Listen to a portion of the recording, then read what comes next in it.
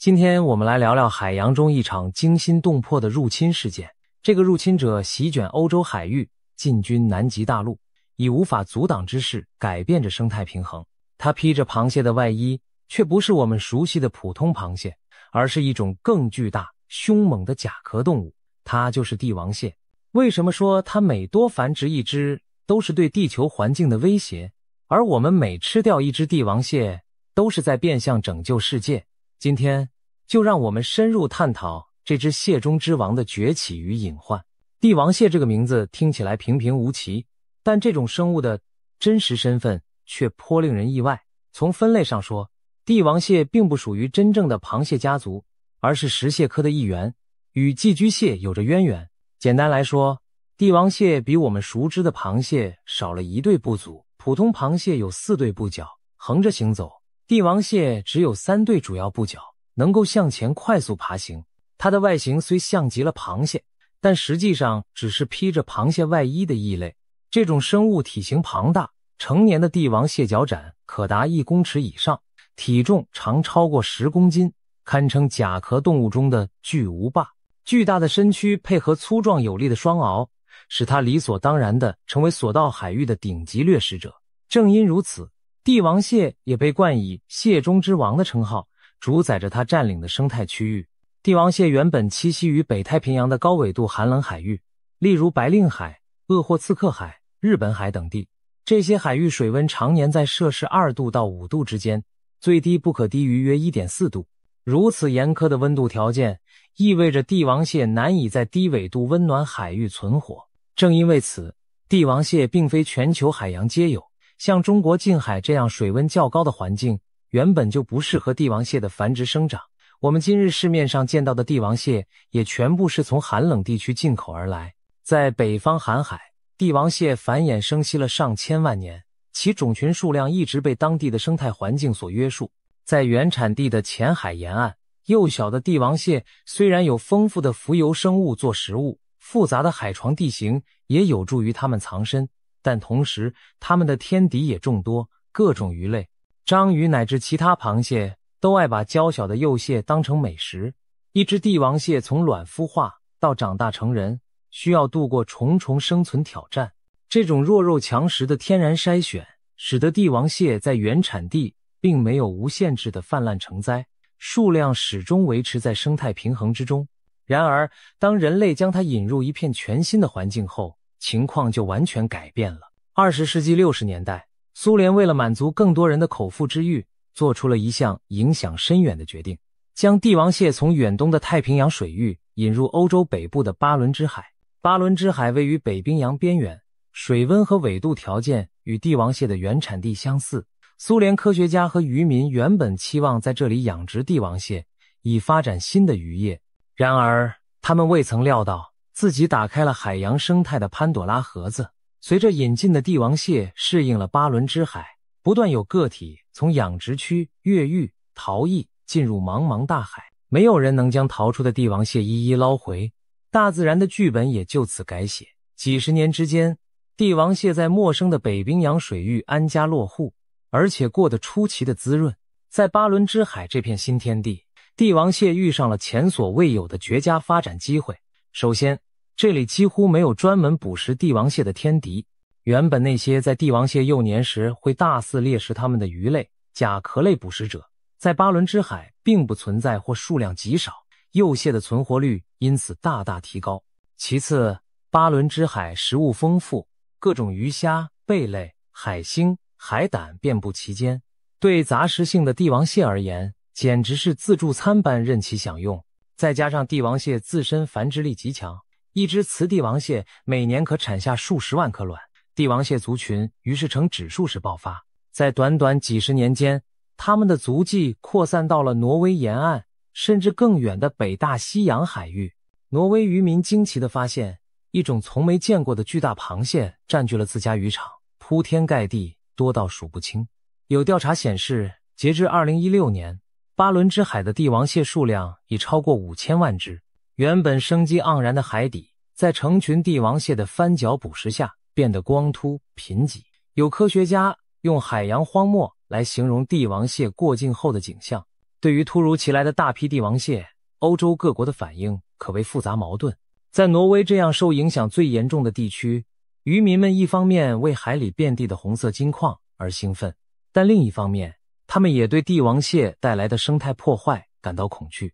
帝王蟹属于凶猛的掠食者，它们几乎什么都吃，不管是海胆、海星、贝类、蚌类、海参，还是小鱼，通通不放过。一对强有力的螯足可以夹碎海胆和贝壳，轻易撕裂海星和海参，甚至连沉在海底的动物残骸也不放过。有记录显示，帝王蟹一旦咬住猎物，就绝不松螯，几秒钟内便将其撕碎吞食。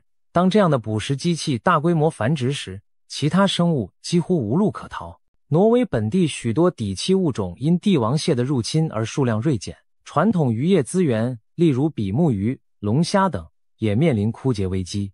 挪威人担心再这样下去，他们的峡湾里将无鱼可打，因此，挪威政府恨不得出动一切力量，把帝王蟹一网打尽，以免本国渔业和生态遭到无可挽回的重创。帝王蟹入侵的足迹并不止于挪威。近年来，在英国附近水域也出现了帝王蟹的踪影。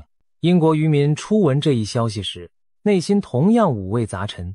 高兴的是，或许能靠捕捞帝王蟹发一笔横财；忧虑的是，帝王蟹的到来仿佛让他们看到了另一个物种入侵的阴影。当年北美灰松鼠引入英伦后，导致当地本土的红松鼠几近灭绝。如今，外来的帝王蟹会不会让英国海域的本地物种重蹈覆辙？欧洲一些小渔村甚至流传出巨蟹怪物的传说。据说在漆黑的夜里，有渔民见到如同巨大蜘蛛般的帝王蟹攀上码头岩壁，不足伸展可达两公尺，巨鳌一挥就能夹断鱼叉，吓得人们不敢靠近海岸。当然，这些夸张传闻的背后。反映的正是沿海居民对帝王蟹肆虐的不安与恐惧。更令人担忧的是，帝王蟹的野心似乎并不满足于北半球。随着地球气候变暖，南极海域的水温也在缓慢上升。科学家发现，一旦南极近海的海水温度接近帝王蟹可以忍受的下限，这些远方而来的入侵者就有机会侵入这片远古的生态净土。二零一一年。科考人员在南极半岛附近深达八百五十公尺的帕默海底盆地中，惊讶地发现约一百万只帝王蟹的踪迹。这意味着帝王蟹已经成功跨越了南极圈的门槛，在南极周边海域站稳了脚跟。如果它们继续向较浅的大陆架推进，后果将不堪设想。要知道，南极海底的生态环境与其他海域截然不同，在那冰冷的深海，几乎没有大型掠食者。当地的无脊椎动物更是千百万年未曾遭遇过如帝王蟹般的猎食者。许多南极特有的海星、海胆和软体动物，由于缺乏天敌，它们的甲壳或棘刺演化的十分薄弱。一旦面对帝王蟹这种如狼似虎的入侵者，几乎毫无招架之力。一旦帝王蟹大量涌入南极大陆架，它们将像在北半球一样横扫海底一切可食之物，给这片地球上最后的纯净海洋带来灾难性打击。而南极生态一旦遭受破坏，恢复起来将极为困难，甚至不可能。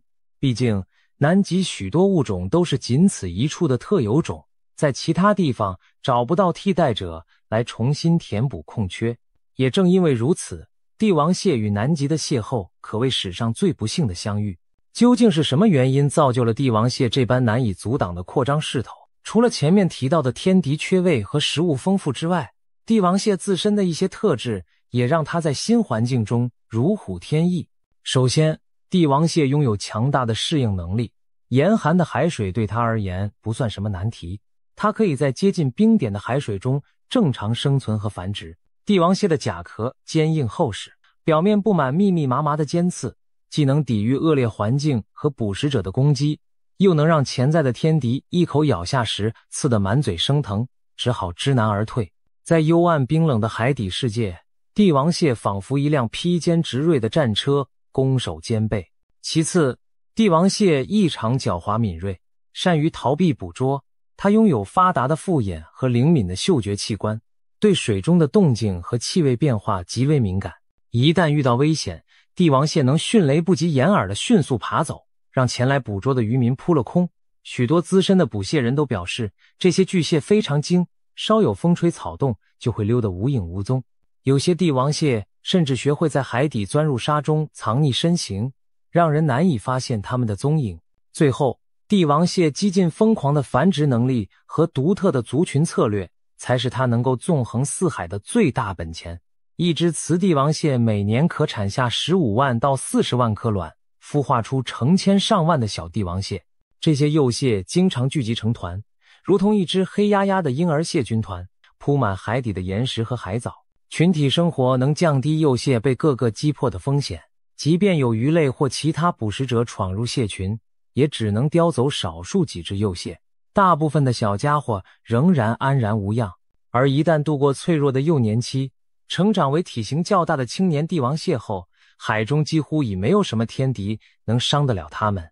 成年帝王蟹除了人类之外，几乎无敌于世。它们的寿命可长达二十至三十年，在这漫长岁月里，每一对帝王蟹父母都可能为地球新增数十万甚至上百万的后代。族群规模呈爆炸式增长。我们明白了这些，就不难理解为什么帝王蟹在新环境里会变得如此难以阻挡，简直像是为入侵繁殖而生的天然利器。面对帝王蟹的猖獗扩张，人类并非束手无策。特别是在帝王蟹数量最为惊人的挪威，政府早已将帝王蟹列为必须严加控制的入侵物种，并鼓励渔民尽可能多地捕捞。挪威甚至与俄罗斯合作，开放更多海域。供渔船捕蟹，试图联手遏制帝王蟹向外扩散。然而，想要真正剿灭帝王蟹，谈何容易？首先，尽管帝王蟹在欧洲海域已经泛滥成灾，但并非所有地区的人们都愿意将这种怪物端上餐桌。对大多数欧洲消费者而言，他们平日更偏好牛排、猪肉等传统肉食，对螃蟹并没有亚洲人那样的热爱。一时间。帝王蟹在欧洲本地陷入了供过于求的局面，海里的蟹那么多，欧洲人却吃不完它们。于是，大量捕获的帝王蟹只好出口到对之趋之若鹜的亚洲市场，其中就包括视蟹如命的中国饕客们。也可以说，正因为有亚洲市场的强劲需求，挪威和俄罗斯的渔民才更有动力去捕捞帝王蟹，从而在一定程度上减轻了帝王蟹对当地生态的压力。然而，光有市场还不够，捕捞帝王蟹本身也充满挑战和危险。与许多鱼类不同，帝王蟹栖息在近岸深海地区，往往必须将沉重的诱饵蟹笼投入数百公尺深的海底，才能将其捕获。一个空蟹笼就重达两百斤，收放全靠船员合力操作，非常吃力。而在风高浪急的北冰洋作业更是危机四伏。捕蟹季节通常在每年十月至十一月。海上狂风可达时速一百三十公里，掀起十公尺高的巨浪，渔船在浪峰谷间颠簸，甲板湿滑如冰。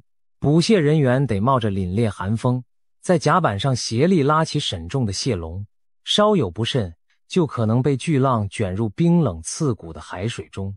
在那接近零度的海洋里，人体体温会急速流失，几分钟内就可能因失温而丧命。即便不落水，长时间与寒风海水搏斗。也常造成冻伤、肌肉拉伤等伤病。有统计指出，捕捞帝王蟹是全球死亡率最高的捕鱼工作之一。在阿拉斯加，每十万名捕蟹船员中，平均就有三百多人命丧海上。由此可见，捕蟹虽看似只需布下蟹笼，坐等收成，实则是一项艰险至极的行当。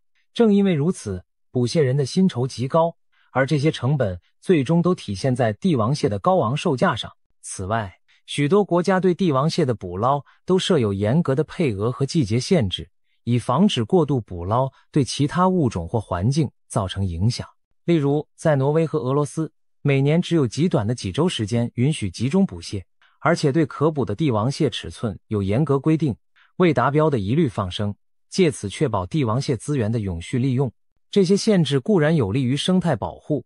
但也意味着帝王蟹的供应不可能像便宜的飞鱼那样无限制扩大，供给有限而需求殷切，价格自然居高不下。还有一个现实问题，那就是帝王蟹非常娇贵，活帝王蟹在运输途中极易因环境变化而死亡，而一旦死掉，它的新鲜风味和经济价值都会大打折扣。因此，从北极圈捕获帝王蟹并空运到世界各地的餐桌，需要极为高效严密的冷链运输，成本可想而知。很多时候，帝王蟹干脆以冷冻加工形式出口，比如从遥远的南美洲智利冻藏运至中国。捕捞风险的高昂和运输成本的沉重，使得帝王蟹即便在数量泛滥的今天，依然是餐桌上价格不菲的奢侈海鲜。有趣的是。在网络上流传着一种说法：我们每吃掉一只帝王蟹，都是在变相拯救地球。乍听之下像玩笑，但从某种意义上说也不无道理。帝王蟹作为入侵物种，已在北半球的多处海域造成生态灾难，未来甚至可能颠覆南极的脆弱海洋环境。要对付这样一个强大的生态杀手，目前最有效的办法之一，便是大量捕捞并加以食用，直接削减其数量。挪威政府甚至公开呼吁世界各地的食客多多享用帝王蟹，以拉动捕捞产业发展，抑制帝王蟹族群继续扩张。换言之，当饕客们大快朵颐之际，也客观上为保护当地生态出了一份力。然而，这种以美食之名拯救地球的美事，听着令人向往，实际操作起来却没那么简单。帝王蟹虽然满坑满谷。但昂贵的价格注定不可能成为日常消费品。就算您财力雄厚，天天以帝王蟹佐餐，身体恐怕也吃不消。毕竟，帝王蟹的蟹黄含有高浓度胆固醇，蟹肉则富含高蛋白和高嘌呤物质，过量食用对健康并无益处。所以，尽管我们调侃每吃一只帝王蟹都是在拯救世界，但这种拯救方式终究只能是聊以慰藉的调侃，难以当真。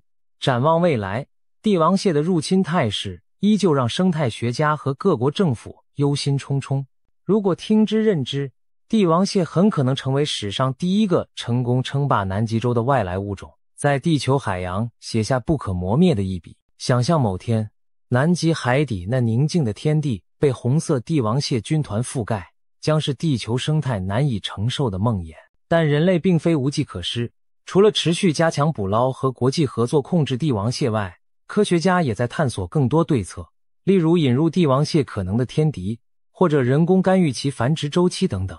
更重要的是，全球携手遏制气候变暖趋势，因为只要海水温度止步不前，帝王蟹在南极就难以长驱直入。或许我们无法将帝王蟹重新局限在太平洋的故乡，但至少可以防止它们继续肆虐更广阔的海洋。每个人都可以在这场对抗入侵物种的战争中出一份力，无论是支持政府的管控措施，还是用实际行动多吃几口帝王蟹，为生态减负。当然，我们也需要时刻警醒，避免重蹈引入外来物种失控的覆辙。帝王蟹的故事告诫我们，人类一时的疏忽，往往可能引发自然链条上意想不到的震荡。一旦生态天平被打破，再高明的智慧也难以将其复原。从北冰洋到南极洲，披着螃蟹外衣的帝王蟹正以无可阻挡之势上演着一出真实版的怪物入侵。这场故事里有人类贪婪开启魔盒的遗憾，也有大自然掠食者横行无忌的警示。也许在不久的将来，当我们谈论帝王蟹时，不仅会想到味蕾上的鲜美，更会联想到其背后关乎生态存亡的较量。在保护地球与满足口腹之欲之间，人类需要寻找微妙的平衡。如今，帝王蟹已经势不可挡，我们能否最终驾驭这位海洋霸主？答案还有待时间揭晓。而至少现在，如果你有机会品尝到一口肥美的帝王蟹肉，也可以暗自欣慰，因为在享受美食的同时，你也为地球环境尽了一份微薄之力。